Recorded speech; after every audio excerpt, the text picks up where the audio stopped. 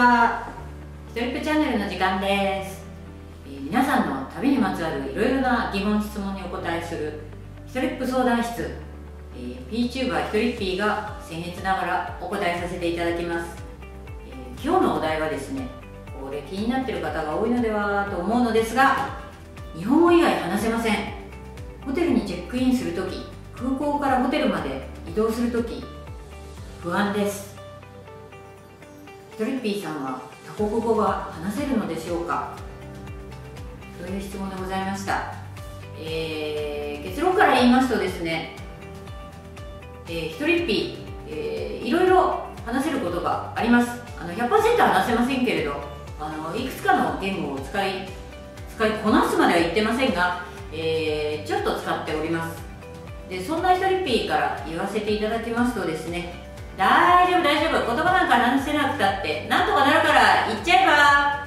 なんて無責任なことは言いませんよ。はっきり言わせていただきますと、えー海外に行くのであれば最低限現地の言葉、えー取得した方がいい言葉が4つあります。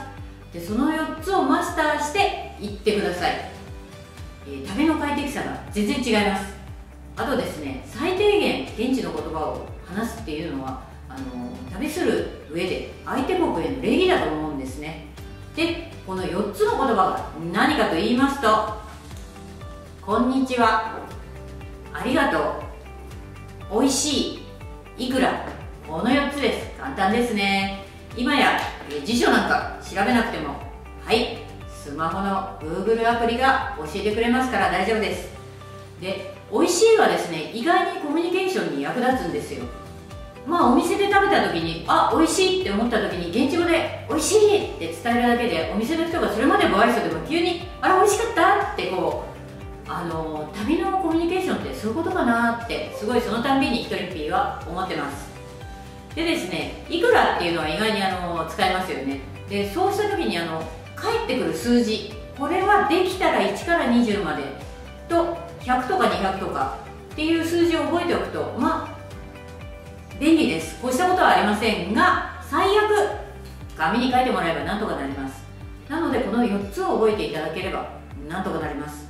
でですねひとりっぴーも初めて25年くらい前に中国に行った時あまりに言葉が通じなくてびっくりしました。英語はもちろん通じません。日本語はまして通じません。もう呆然愕然としたまんま帰ってきました。なので非常に反省して帰ってきてからベルリッツに通いました。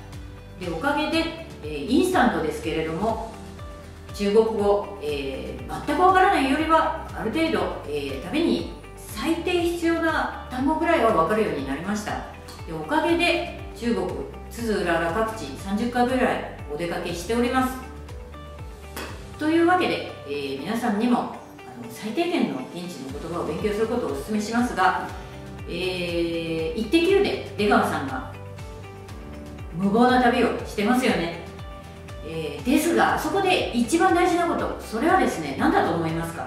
皆さん。コミュニケーション諦めないことなんですよ。